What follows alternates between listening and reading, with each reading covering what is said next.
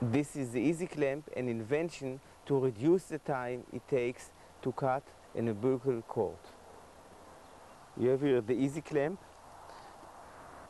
It comes in a sterile package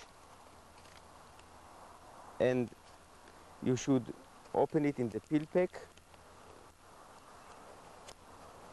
You take out the sterile clamp. You have two sides to the clamp.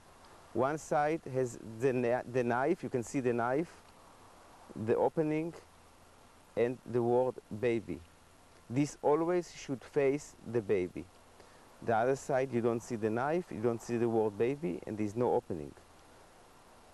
You take this, you put it towards the baby on the core, and you press it in one stage. There's few ways to do it. You can hold it only in one hand, you can hold it with two hands, or you can press here or here.